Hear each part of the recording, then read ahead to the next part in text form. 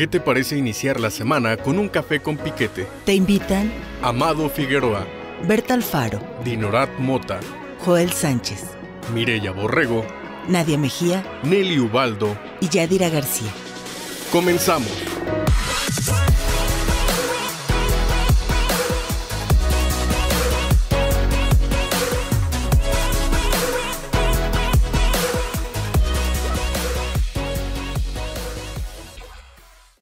Tal? Muy buenos días. Estamos hoy en la décima emisión de Café con Piquete, pues un, un lunesito medio raro, luego fresco, luego calorcito. Y tenemos el gusto de tener hoy un invitado de lujo, nuestro compañero Fernando. Fer, muy buenos días. Joel, buenos días. Amado, buenos días. También está aquí con nosotros Mireya Borrego, buenos días. Y Memito, Además, en los controles nos acompaña Ilse. Pues estamos aquí ya en esta nueva emisión de Café con Piquete y llámenos 771-107-0523 y en Tulancingo 775-755-0640. Pues vamos a tener mucho chisme este fin de semana, pues se dio la constancia al gobernador electo Julio Menchaca y empezamos con eso que nos habló también de la transición y de, eh, yo creo de que todos tenemos como que en la mira, ¿quiénes van a ser los nuevos secretarios? También habló de eso, no se vaya, acompáñenos. ¿Cómo están, compañeros? Buenos días. Toma aire, toma aire. La señora, la señora, ¿qué pasa? Sa. Yakuza, yakuza. Buenos, días a todos, Amado. compañeros. Buenos, días. Fer. Fernando, un gusto que estés con, con nosotros. Mire, eh, Guillermo Bello, Ilse Sandoval, buenos días. Pues efectivamente fue un fin de semana muy importante en lo que se refiere al acontecer político aquí en el estado de Hidalgo. El Instituto Estatal Electoral eh, emitió la declaración de validez de la, elección, ya es formal, el resultado ya es oficial. Y además se realizó la entrega de la constancia de mayoría a quien ahora es gobernador constitucional electo del estado de Hidalgo para el periodo 2022-2028 de Julio Ramón Menchaca Salazar. Y pues como bien decía eh, Dinorad, ahorita eh, inicia una nueva etapa. Antes de la integración del gabinete viene también la integración del equipo de transición, que será muy interesante ver. Recordemos que hace eh, seis años fue eh, Juan Carlos Martínez e Israel Félix quienes encabezaron este equipo. Solo uno de ellos se integró al gabinete y pues esta vez los la rumorología ubica a Natividad Castrejón, a Eduardo Medésigo y pues algunas personas más ahí en el equipo de transición del gobernador electo Julio Menchaca Salazar. Pero además aclaró que no necesariamente quienes estén en este equipo van a estar en el gabinete. Y bueno, pues hay que esperar porque rumores hay muchos. Sin Sergio embargo, Hernández también en ese equipo. sin embargo dijo que yo creo que Sergio viene de cajón, ¿no?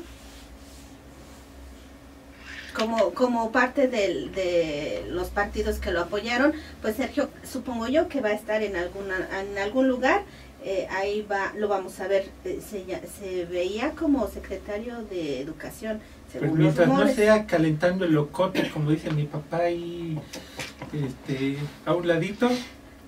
¿Tú qué ves, Fer? Fer, buen Nuestro día. invitado. Hola, buenos días, muchas gracias. Un uh, verdadero placer estar aquí con, con ustedes, con amigas, con amigos, con Dinora, con Mireya, mi hermano Águila, Hermano Águila. Amado, este, Joel, Memo Bello. Este, un placer, de veras, eh, les agradezco la invitación y un honor, desde luego, hacerlo a través de los micrófonos de la NQ. Le mando un abrazo afectuoso a don Alejandro. Pues sí, digo, eh, yo sigo eh, viendo aquí todas las versiones que siguen en este proceso, que realmente todavía no termina, pero bueno, hay que tomarlo ya con, con la- el proceso en el que se encuentra, ya se entregó la constancia de mayoría, eh, que acredita como gobernador electo a Julio Menchaca, eh, hay procesos todavía pendientes, y pues se, se- se hicieron muchos rumores de la famosa integración del gabinete, con nombres que francamente algunos, eh, híjole, Y dicen, sea de broma, por favor. Sí, sí, yo creo que son broma. Y en algunos casos mala broma. Fíjate que eh, de, eso quiero ahondar un poco, Fer, qué bueno que, tocas el tema. Se, mane- se han manejado al otro día de, la elección, pues cuatro hasta cinco gabinetes que se han enviado por redes sociales y se barajan varios nombres Entre ellos, bueno, el más sensato, el que, el que, el que me llegó a mí, eh, conformado por ocho mujeres y 14 hombres, entre los que destacan, pues obviamente Natividad Catre- Castrejón, Ricardo Crespo, Eh, Miguel Ángel Tello, Cuauhtémoc Ochoa Fernández, Sergio Hernández para Trabajo y Previsión Social, Luciano Cornejo Barrera para Sedagro. Bueno, obviamente estamos hablando de puros rumores, ¿no? Pero lo que me llama mucho la atención es la integración de mujeres. Eh, Simei, Sandra Simei Olvera para Desarrollo Social, Sandra Alicia Ordóñez para el Instituto de las Mujeres que quieren crear la Secretaría, María Adelaida Muñoz Jumilla, oficial mayor, Natalia Castrejón, Instituto de la Juventud, Susana Ángeles Quesada, Movilidad y Transporte, Vanessa Escalante para Salud, y pues así se barajan nombres, ¿no? Otros integran a Ramón Ramírez, a Alberto Meléndez, Bueno, y, y hay más, ¿no? Hay, por ejemplo, un listado que dice que Moisés Jiménez podría estar en la Secretaría de Educación Pública. Digo, Moisés me parece un cuadro excelente y muy bueno, pero es completamente de un grupo ajeno al, al, que apoyó a, a Julio Menchaca. No está confrontado con él, de hecho son, son amigos, pero no es, es- no está dentro del, del equipo. Es más, podría yo decir que esa secretaría va a pedir mano ahí el partido Nueva Alianza y el profesor Sergio Hernández, ¿verdad? No, no creo definitivamente la versión de... Pero además en la versión que nos da Amado, dijiste ocho mujeres, ocho mujeres. 14 hombres. Bueno, el, el gobernador electo ahora ya dijo va 50-50, un gabinete paritario. Además, tú conoces bien el tema, Fer, en el, en el tema paritario. ¿Cómo ves? Sí, pero digo, eh, tendría que hacerlo así. 50 y 50, eh, yo creo que así lo va a hacer porque además pues, lo comentó, ¿no? Fue eh, algo que ya tiene que, que contemplar. Eh, y además, insisto, hay nombres en los que realmente no creo yo. Por ejemplo, de las mujeres, eh, la presidenta municipal de Tzayuca ya dijo no, Que no. que ella terminará su, su encargo como al- alcaldesa. Eh, Simei, aunque, yo aunque también la alcaldesa de dice yo que yo no le veo la estatura política para una secretaría. ¿eh? Ni algunos otros de los perfiles que ahí se mencionaron.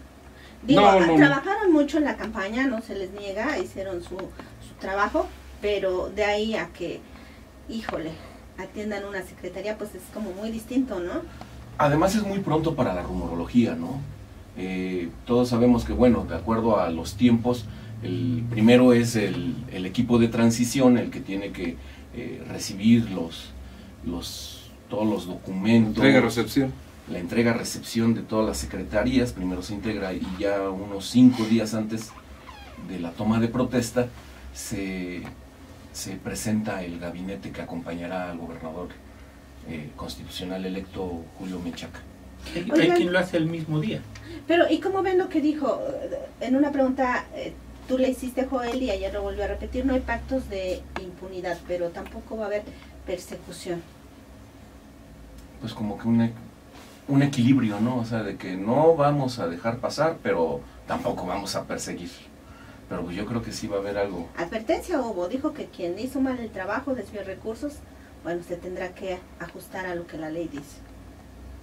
No, bueno, y yo creo que eso es lo que debe de ser, o sea, no se puede tomar ni como advertencia ni como amenaza, pues simplemente es lo que la ley indica, un proceso de entrega-recepción, se van a hacer las correspondientes auditorías como siempre, si se encuentra algo, bueno, pues ya tendrá que, que informar y proceder en consecuencia, y si no, pues yo no creo que haya ninguna persecución de ninguna naturaleza, porque no, no se trata tampoco de, de- caer en alguna cuestión de ese exacto. Yo creo que pues lo que conlleve el proceso de entrega-recepción y hasta ahí. Por cierto, también habrá un equipo de transición por parte de la administración saliente, hasta donde se sabe y de acuerdo a lo que la ley de entrega-recepción establece, pues seguramente será la doctora Jessica Blancas Hidalgo y por supuesto también el secretario de la Contraloría, César Román Mora, quienes se encargarán de este, encabezar este, este equipo. Y pues en relación a lo que dice Amado de que eh, la rumorología, que falta mucho para eso, nunca es, tem- nunca es temprano, ¿eh? Para, para desde- los, desde los antes, rumores. ¿no? Sí, desde antes de que, de, de que se llevara a cabo la elección ya tenía gabinete Julio Menchaca, eh, Carolina Vigiano, sí, ya, ya.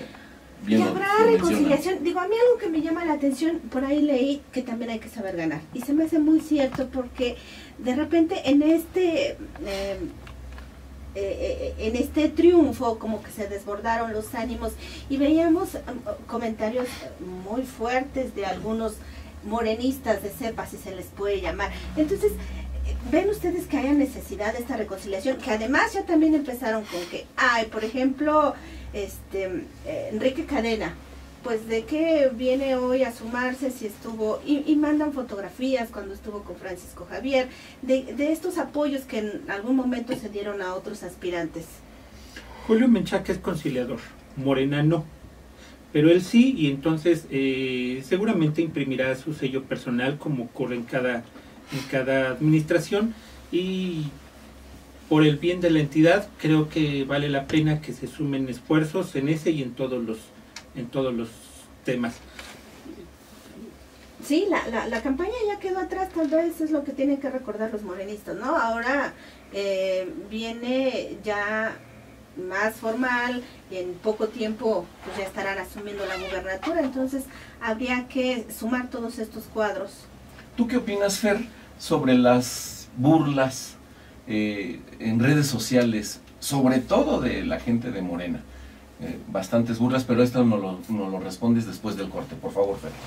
Claro. Regresamos 771-107-0523, 775-755-0640. Esto es Café con Piquete. Regresamos. Eso nuevamente aquí en Café con Piquete. Eh, damos la bienvenida a Berta Alfaro, ya está aquí con nosotros. buen día. Y bueno, recordarles que en un momento más también tendremos la presencia del titular de la Secretaría del Medio Ambiente, Ja- Said Javier Estrella García. Bueno, nos va a comentar de este tema que ha estado en boga en los últimos días, el tema de los verificentros. Y continuamos aquí con Fernando Hidalgo. Este, tenía por, tenemos por ahí una eh, pregunta pendiente, Fer. ¿Cómo ves todas las reacciones de los morenistas en este triunfo y en estas burlas que han hecho a los contrincantes? Bueno, saludo primero a mi querida hermana Águila también, Berta. Hermano Águila. Un placer estar aquí. felices aquí. Eh, yo, si, si no es fútbol, las burlas son indebidas. Y, y más tratándose de un tema con toda la seriedad que conlleva el, el- el hecho de haber competido en una elección para una gubernatura, que bueno, insisto, sigue el proceso, este, eh, aunque ya va muy avanzado, pero bueno, sigue el, proceso eh, y, creo que la burla pues como bien decía Joel, este el gobernador electo es conciliador, pero algunos personajes de su partido no lo son. Y yo considero que ahí no cabe la burla, porque finalmente vamos a vivir en el mismo estado, vamos a seguir conviviendo con la misma gente, vamos a estar todos en el mismo lugar. Y, y- y creo que a todos, tanto queremos como nos conviene que, que a Hidalgo le- le vaya bien, le vaya mejor eh, de lo que hasta el momento le ha ido. Y para eso, si empezamos ya con esas cuestiones de burlarme de ti porque tú le ibas al PRI y me burlo de ti porque tú le ibas al PAN y perdieron y ay, que, y, eh, eh, pues la burla, insisto, es de, alguna, en algunos casos ha sido descarnada y yo creo que Desmedida. eh, desmedida efectivamente e injustificada. Lo que decíamos, estatura para perder, pero también estatura para ganar. Porque además lo dijeron, exacto, lo dijeron todos los contendientes, la, la candidata, los candidatos. Bueno, somos adversarios, no somos enemigos. Yo creo que la, la burla siempre es parte de, de la naturaleza humana y más y más en las redes sociales, ¿no? Porque también cuando son han sido casos contrarios, este que, que, que gana alguno de los partidos opositores a Morena, bueno, pues pasa lo mismo, ¿no? Yo creo que finalmente va a ir poco a poco disminuyendo esto conforme avance la transición, conforme cada quien vaya como agarrando su lugar, que las aguas se vayan asentando, ¿no? ¿Qué opinas? Bueno, yo creo, lo que yo creo es que finalmente el, no sé por qué ya lo traigo como aquí pegado en la mente. Este rollo tan, tan desagradable del discurso de odio permea en todo. Y entonces este discurso de odio también se le permite, así, va- vamos, se le da permiso a que se digan una serie de barbaridades y que se ofenda sin ton ni son. O sea, las ofensas van de un lado para otro, Claro. muy agresivas, creo que excesivamente agresivas, y esto es resultado del discurso de odio. Entonces, no podemos seguir eh, fomentando eh, este discurso de odio, este que, que tú eres amarillo, yo soy moreno, yo soy naranja. Sí, no, Yo creo no, que no aquí somos desde seres humanos. Desde las dirigencias deberían empezar a predicar con el ejemplo, ¿no? Y empezar ellos a conciliar, a construir, porque no se puede construir a base de, de palabras agresivas o de burlas, como, como comentaba Fer, ¿no? Bueno, es que finalmente el, el odio no da eh, pie para nada. O sea, si, si estamos eh, enfrascados en una pelea sin fin, pues eh, eso, eh, la energía se está yendo precisamente a eso y no a preocuparse de, de los ciudadanos en un primer momento. Y me pareció que ayer este el gobernador electo pues fue así como muy conciliador en el decir, bueno, ya, bye, bye, ya se acabó, la, campaña, vamos a otra cosa, ¿sí? Y ahora vamos a construir. El problema es que los demás no lo entienden. ¿Qué esperaríamos la, la ciudadanía, ustedes qué piensan, con un gobierno de Morena en el Estado que nunca ha sucedido? ¿Qué es, lo, ¿Qué es lo que la ciudadanía podría esperar o qué diferente se haría con respecto a lo que se venía haciendo con los otros gobiernos? Pues yo esperaría que no se convirtiera en un Puebla, en un Michoacán, en un Guerrero, en un Baja. California, en un Veracruz. Zacatecas, en un Veracruz, ni lo mande Dios, En un Morelos. seguridad. Digo, evidentemente Cuauhtémoc Blanco está como futbolista lo máximo, pero en estos menesteres eh, está muy por debajo, incluso de sus congéneres, compañeros de, de partido gobernando, ¿no? Pero bueno, ahí tenemos ejemplos como el de Veracruz, como el de Puebla, los estados ya mencionados, que, que- que han tenido traspiés y muy fuertes y muy constantes, y, eso esperaría una persona que, que votó por, por Morena, ¿no? Que no ocurra eso, que la persona por la que votó tenga la, la sensatez de, que, y, que la tiene y la capacidad para gobernar de buena forma y no caer en esos gobiernos de, de que yo gobierno para el que votó por mí, pero para el que no votó por mí,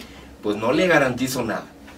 Hay mucha gente que a mí me comentó en lo personal antes de decidir el sentido de su voto que, eh, mm, que le parecía que Julio Menchaca era una persona muy preparada, que era una persona muy capaz, con experiencia, pero que no le convencía los preceptos de la 4T, ¿no? Entonces, bueno, esa gente, quién sabe finalmente si decidió o no su voto por Morena, finalmente ganó. Este, ¿Ustedes creen que, que, esa, esos preceptos que precisamente vemos en otras entidades puedan replicarse aquí en, en estos discursos tan, de, que tanto polarizan, ¿no? Sobre, sobre todo que separan a fifís de conservadores, o sea, no hay matices, no hay medias tintas, no hay cosas en las que uno pueda decir, en esto sí estoy de acuerdo y en esto no, porque bueno, finalmente quienes no hemos militado nunca en ningún partido, pues podemos estar de acuerdo o no con algunas cosas de todos. ¿Qué opinan ustedes? Si me permiten, mira, yo, a mí me parece que cuando Julio Menchaca en la campaña, eh, digamos que este, le advierte, advierte que él puede tomar decisiones, por ejemplo, el regreso de las eh, guarderías, que ha sido tan, tan criticado, tan golpeado, pues eh, ahí, bueno, cuando menos en, en- en el dicho, me parece que la, el- esta idea de ir eh, como diciendo, bueno, vamos a analizar lo que está haciendo la 4T y vamos a tratar de impulsar lo que sí servía, ¿no? Y que además la la gente-. Y también vamos a un corte, amigos. Ay, 771-107-0523, 755-0640 en Tulancingo. Regresamos. Las noticias con otro sabor. Esto es Café con Piquete. Regresamos. ¿Qué más se puede decir? Ahorita la- eh, está el tema de, de esta toma de, de protesta donde estuvo la fiesta afuera. Afuera de la, digo, de la constancia de mayoría, la fiesta afuera. Sí, claro, y digo, Sí. que, que, pues qué bueno, ¿no? Que la militancia vaya a acompañar a, a su, a su candidato ganador. Eso creo que es una, una señal buena de, de bueno, ya ah, seguimos arropándolo, como, como decían hace ratito, ¿no? Finalmente también yo creo que los partidos que fueron en candidatura común, pues van a tener que seguir acompañando el, el proyecto, porque pues eh, fue un proyecto, no era, no, era, es un proyecto hace seis años, no era una campaña únicamente, ¿no? A mí me parece eh, que hay mucho que celebrar en el sentido de que la elección se haya hecho de manera pacífica, que la Sí. transición eh, se enfile precisamente a darse sin, sin mayor contratiempo y ese es un motivo para, para festejar que creo que justifica plenamente la, la presencia de pues de su- los seguidores, los militantes de los tres partidos políticos, porque además el trabajo y el resultado no fue de una sola persona, fue de un equipo. La militancia ve también el triunfo como suyo y eso es lo, lo que creo que fueron a celebrar ayer y que bueno, que tengan motivos para. Y bueno, abonando un poquito a lo que decían hace rato del gabinete, yo creo que, bueno, uno es el gabinete, eh, ahora sí que el gabinete formal, las secretarias, los secretarios, que ya dijo que va a ser paritario, pero también hay muchos, muchos puestos en, eh, clave que, que, que van en donde va a estar, yo creo que el equipo, eh, pues de, prim- de primer contacto de él, ¿no? En subsecretarías, en algunas direcciones generales, que son además equipos operativos y que, y que a lo mejor no van a tener la titularidad, pero sí van a tener la responsabilidad grande. Pues ojalá que no lleguen eh, así con la espada desenvainada y con el, en la actitud golpeadora, porque entonces estarían pues eh, llamando a, a un este a una estrategia de, venganza, de, odio. Pero pues ahí va a estar su jefe checándolos para que no sean gandallas, ¿no? Con sus compañeros. Yo, yo quiero recordarles que en unos minutos más estará presente aquí en, la cabina de Café con Piquete el secretario del Medio Ambiente y Recursos Naturales de Hidalgo, Said Javier Estrella, quien va a platicar con nosotros de un tema muy interesante. Este, esperemos que ya se incorpore en unos minutos. Fer, Pues eh, yo coincido con Berta, creo que, que no va a ser así, este, no debe ser así, y, también no puede, porque sería pues tanto como un... eh, habría una inestabilidad, una desestabilización de- del gobierno que pues no conviene, y yo creo que las personas que, que se encargarán de, de este proceso pues, lo saben, y no van a permitir una, cosa de esa naturaleza, ¿no? Debería de ser, no debe ser y, además no puede porque pues el, trabajo debe continuar, o sea, va a ser un proceso de, de entrega, de recepción, sí, pero además de ese proceso, el trabajo del gobierno sigue, no se detiene. Y, quienes trabajan eh, diario en el Ejecutivo, pues no van a tener su trabajo para esperar qué pasa, ¿no? Además esa incertidumbre, pues, ya lo dice la canción, es cruel y, y no debe de ocurrir. No, además esto de que, bueno, Julio Menchaca dijo que nadie iba a perder su empleo, bueno, salvo los secretarios, sí. Bueno, sí, o sea, yo creo que se entiende, a ¿no? la, a la gente. pero que la gente de a pie, Como dirían. como dirían por ahí, Por sí, ahí. Hay de a que no va a y de a perder. vehículo. no, no van a perder su empleo. Bueno, eso esperemos que no pierdan Yo creo que hay mucha ¿no? gente muy valiosa dentro del gobierno, en todas las secretarías que lleva muchos años haciendo su trabajo y se ha vuelto especialista de su actividad, ¿no? Entonces Así es. ojalá y también se tome en cuenta a estas personas que, que pues hacen su trabajo y lo hacen muy bien y además quienes lleguen de jefes pueden aprender mucho de ellas y de ellos. Pues que ojalá que lleguen con esa mentalidad de aprender, ¿no?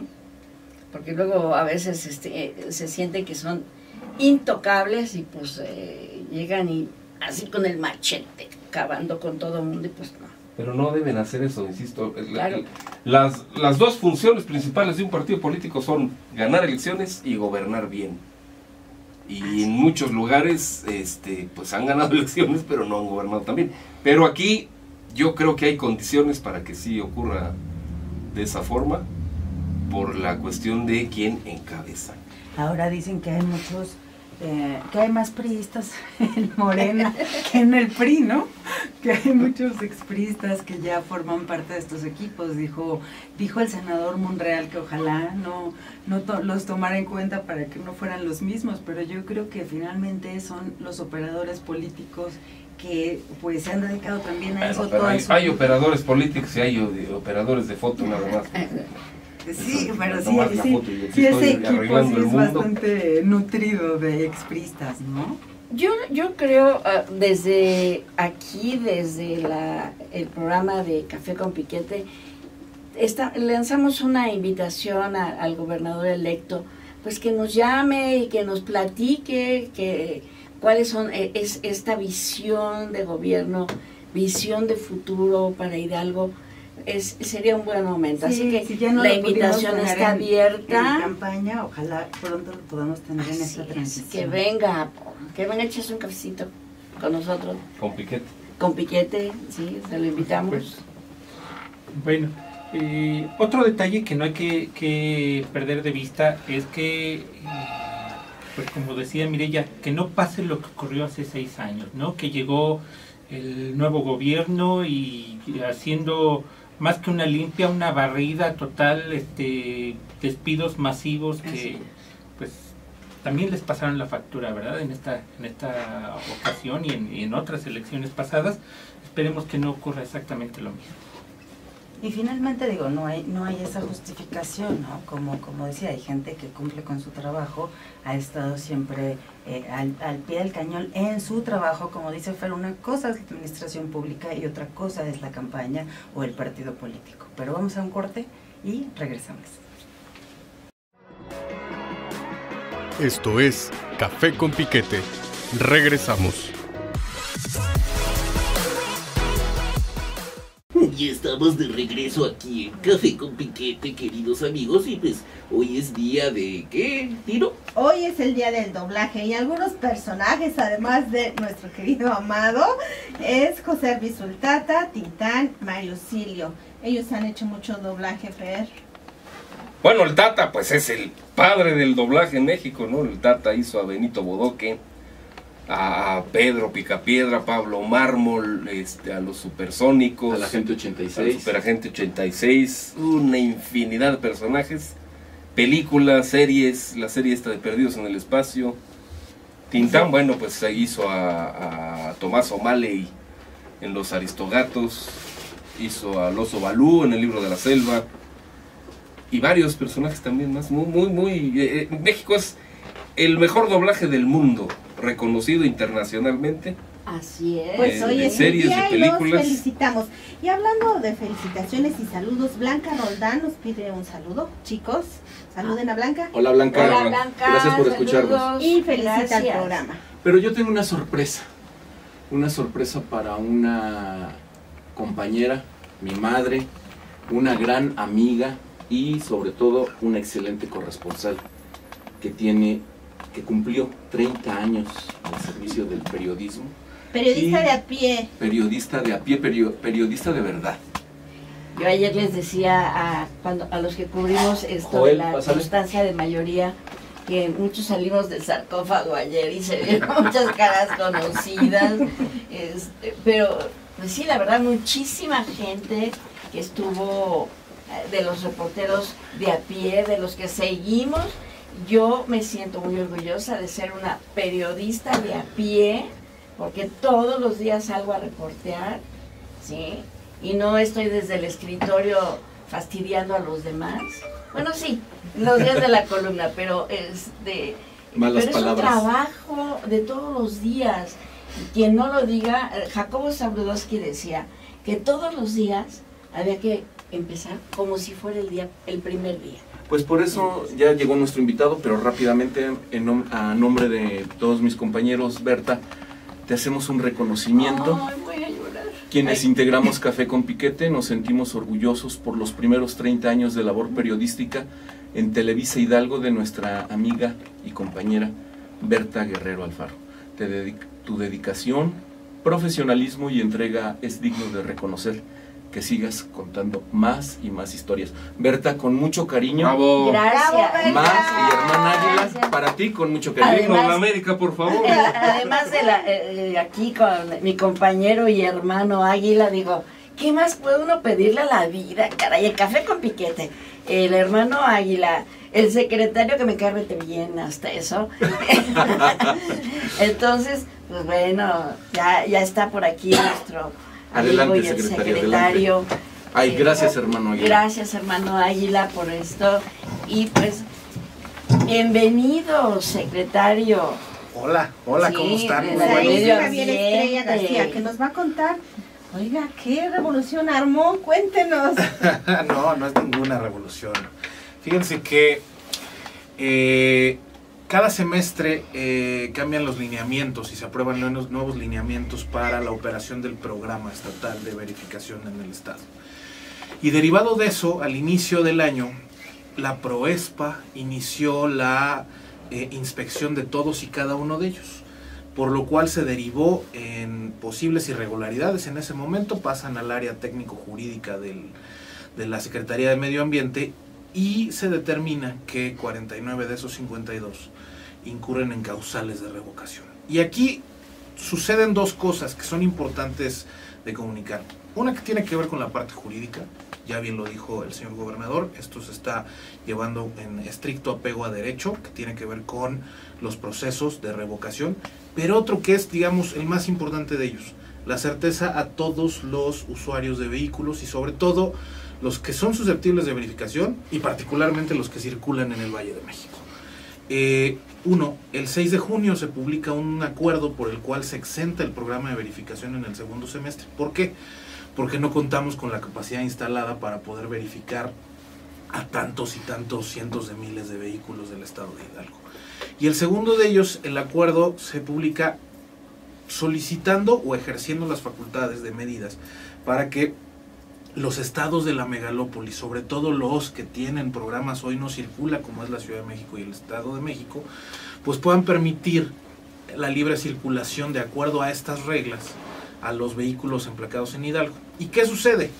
Eh, se otorga la exención de esta verificación a todos los que tengan la verificación del segundo semestre de 2021 y a los que tengan la verificación del primer semestre de 2022. Ah, tengo un auto nuevo, entra en el tema. Mi verificación doble cero se vence en este semestre, entra dentro de la exención. Mi carro era con placas de otro estado y lo acabo de emplacar en Hidalgo, entra en la exención. ¿Qué sucede con los carros que no entran en la exención? Llevo siete semestres sin pagar la verificación y sin realizarla, pero ahora tengo la urgencia poder entrar. Ah, bueno, el Estado de México y la Ciudad de México también pusieron a nuestra disposición el programa de verificación voluntaria. ¿Esto qué nos permite saber? Que todos y cada uno de los usuarios de vehículos susceptibles de estas reglas tienen la capacidad de seguir circulando como cuando había o cuando hay este programa de verificación vehicular. Y eso, hay que decirlo con toda claridad, no tiene ningún problema. O sea, primero se hizo en acuerdo con la Comisión Ambiental de la Megalópolis y después al interior de la Comisión Ambiental de la Megalópolis se Secretario, eh, yo quisiera que nos comentara cuáles son los eh, las anomalías en que incurrieron todos estos moches, eh, mala infraestructura, pero nos lo cuenta después del corte. Correcto, con mucho gusto. Las noticias con otro sabor. Esto es Café con Piquete. Regresamos. Eso, ahora sí, Berta. Ya estamos de regreso aquí con el secretario Said y pues eh, este, tenemos que enterarnos de cuáles eran estas inconsistencias de, de los verificentros que bueno pues ya no van a poder operar o tendrán que resarcir sus, sus este, inconsistencias, ¿no? Bueno, aquí lo que sucedió fue una, una revocación del permiso. Se habla de que si son concesiones o no, no son concesiones, se llaman permisos de operación y esas o en esas autorizaciones de operación de los centros de verificación y 49 de 52 han sido revocadas. Ah, ¿cuáles son los supuestos en los que se plantearon y se encuadraron las revocaciones? problemas de seguridad informática, problemas con el gabinete. En algunos de los casos eh, había más gente de la autorizada dentro del centro de verificación o al revés, no estaban todos los eh, el personal certificado y autorizado para la operación del mismo. Y en algunos otros casos se encontraron que las líneas de pago estaban suspendidas mientras estaban llevando el cobro de multas. Entonces, bajo todo ese supuesto, todos esos supuestos, cada uno de los casos son diferentes. Estamos hablando de 49 de 52 casos. Y preguntan, ¿dónde están los otros 52? Por causas ajenas al- a la Secretaría y al sector medioambiental, pues en ese momento estaban cerrados. Las eh, inspecciones tendrán que llevarse a cabo y se tendrá que hacer el deslinde correspondiente. Esas son básicamente las, las causales de revocación. Secretario, yo tengo entendido que Semarnat tenía un sistema de monitoreo constante desde la Secretaría del Medio Ambiente en los verificentros para que precisamente no incurrieran en temas de corrupción. ¿Qué pasó? A ver, desde hace muchos años se ha planteado ir mejorando los sistemas informáticos. De hecho, eh, mi antecesor, el ingeniero Rico, llevó a cabo un sistema hecho en casa que les permitía dar el siguiente paso en la siguiente generación de software. Y eso es una de las cosas que vale la pena ser, ser muy claros. El software, por supuesto, que se los provee la Secretaría. ¿Cuál es el problema? que hay brechas de seguridad en los sistemas informáticos de los centros. Eso es lo que se alcanzó a encontrar. No que el software esté mal o esté bien, sino que existe la posibilidad de que el software pueda ser manipulado. Ese es el problema y el lineamiento es muy claro, no es una decisión arbitraria de la Secretaría, sino que las reglas del juego, el lineamiento y las normas oficiales mexicanas determinan que si existe la posibilidad de manipulación, eso es causal de revocación. ¿Cuánto tiempo se les dio a los dueños de estos centros para que corrigieran? Eh, se revisó y se realizó todo el proceso administrativo en el cual el área jurídica pidió pruebas en descarga y demás. Aquí no es un tema de si te doy chance o no, las reglas son las reglas y si este, este, esta irregularidad en la norma o en el lineamiento dice que es causal de revocación, es causal de revocación. Nosotros como sujetos de derecho público no tenemos la capacidad ni la facultad de decir, ah bueno, nos vemos en ocho días a ver si ya lo hiciste o no. O sea, al final eso es lo que tenía que suceder. ¿Cuánta gente se queda sin chamba? Pues miren, esa es la parte más complicada. Tenemos que decirlo muy claro, o sea, la gente que en este momento trabajaba en los verificentros, pues, o sea, aquí el problema no es una decisión de la autoridad, sino es un problema de irregularidades de las titularidades de. Entonces, eh, nosotros confiamos en que no tenga que suceder eso, porque todo ese personal es personal muy valioso, que además está certificado y que tiene que ser utilizado en, los, en, el, en el programa de verificación. Ya tendremos un semestre para poder eh, eh, hacer las regularizaciones correspondientes. Sin embargo, la intención es que pues, ninguno de ellos tenga que suceder esa, esa cosa. Secretario, nos, hay muchas dudas sobre cuándo, quiénes, cómo le van a hacer. Hugo Ortega nos pregunta si a los que nos toca nos tocaba verificar en abril y mayo y no lo hicimos, ¿podríamos circular en la Ciudad de México sin ningún problema? Si, si verificaron en el semestre anterior de 2021, sí. Si no, se van a tener que someter al programa de verificación voluntaria en el Valle de México. ¿Y qué va a pasar con estas revocaciones, secretario? ¿En qué tiempo pueden nuevamente volver a estar en Absoluta. función? Qué bueno que lo dices. No existe una lista negra, no hay una lista negra de los incumplidos que te- se tienen que ir a- a- a- al olvido o al, o al, o al ostracismo. Todos los, todas las personas físicas y morales tienen derecho y facultad de participar en absolutamente cualquier convocatoria. Esto no, es, se- la, la revocación no significa eh, un, Un tache, un ¿no? tache o una letra escarlata, o sea, es simplemente un- una acción sancionadora de la autoridad, pero cualquiera tiene derecho y posibilidad de, de participar ¿Y en las nuevas convocatorias. las convocatorias? No lo sabemos. Además, o sea, en esta administración sería muy complicado abrir una más. Eh, estamos a pocos meses de, de- de entregar eh, la administración al nuevo gobierno y entonces ya se tomarán determinaciones en un momento dado. O sea que estas manifestaciones que hemos visto no van a servir, no se les va a atender por esa vía.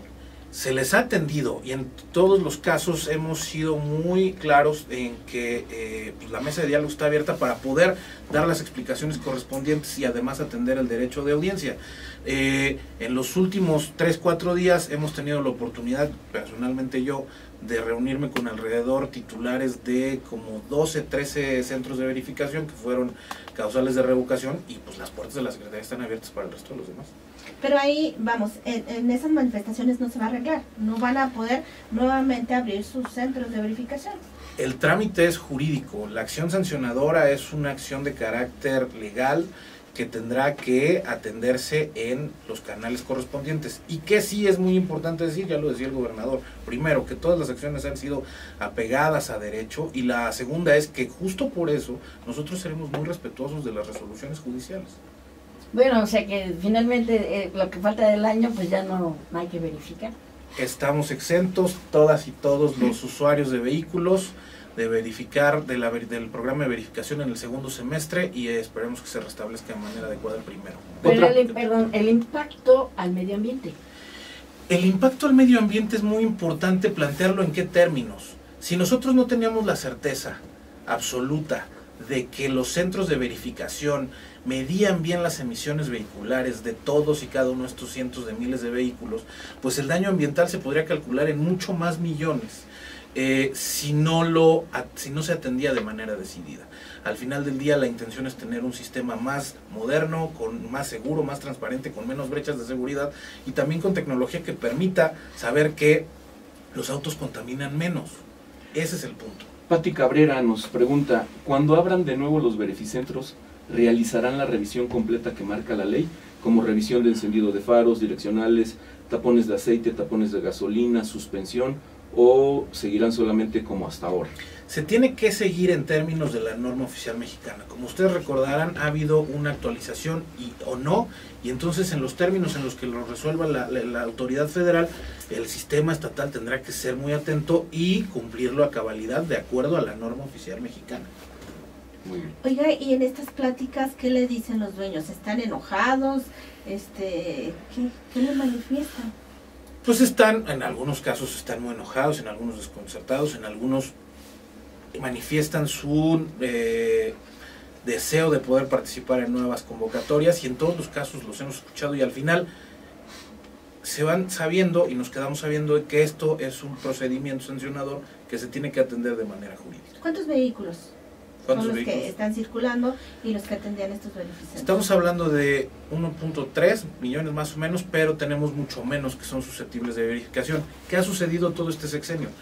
Eh, se ha hecho un esfuerzo bien importante desde la Secretaría de Medio Ambiente, desde que inició el sexenio del gobernador Fayad, por verificar cada vez más. Hemos verificado eh, alrededor de un 10% más de vehículos del inicio de la administración al final. Y bueno, el piquete de ojos no te puedes ir sin el piquete de ojos de café con piquete. Y bueno, hay unas palabras que te vamos a decir que tienes que responder con el primero que se te ocurra. Ok, ¿eh? ¿Listo? por favor. Medio ambiente, Eh, futuro, vehículos, eh, transporte, zona metropolitana, ordenamiento ecológico territorial, Estado de México, vecinos, presupuesto, insuficiente, Hidalgo, el corazón, familia, la columna corrupción. se tiene que acabar. Bueno, pues entonces tendremos que 10. acabar con este café, con esta eh, eh, serie de cosas malas y esperemos que para, para pronto se mejore este asunto de la contaminación y del medio ambiente, que bueno, finalmente es lo importante, ¿no? Más allá de la verificación, ¿no? Y para estos dueños de verificentros, secretario, que han creado hasta grupos y han, en redes sociales están, eh, pues como bien usted dice, muy, muy enojados y amenazan con hacer bloqueos, van a bloquear calles, van a hacer manifestaciones. Y bueno, y la gente que no tenemos ninguna culpa, ¿cómo le vamos a hacer? ¿Qué va a pasar? Hay una preocupación y también hay un respeto importante. Todos tenemos derecho de hacer lo que está dentro del marco de la ley. Eh, hemos sido muy, digamos, hemos manifestado una y otra vez y no lo vamos a seguir de hacer, seguir de hacer, es nuestro respeto irrestricto a las determinaciones que los órganos judiciales tomen, que creo, creemos eh, que esos son los canales que se tienen que llevar a cabo y que desafortunadamente a veces ese tipo de acciones pues contaminan más que los propios eh, eh, autos que no están verificados. Ay, esto se acabó. Ay, bye, bye, bye, pero bueno, este, Un gusto la invitación estado- sigue abierta para otros espacios, para otros programas, otros cafés con piquete y espero que nos acompañes. Muchas gracias, gracias a todos, gracias al equipo, gracias al staff, gracias Hermano a- Águila, muchas al gracias. hermano Águila que estuvo aquí con nosotros y pues bye. Ilse, muchas gracias. Gracias a todas y a Hasta el todos. próximo Gracias. lunes. Café con piquete. Eh, no lo Esto fue Café con Piquete. Recuerda que tenemos una cita los lunes a las 10 de la mañana.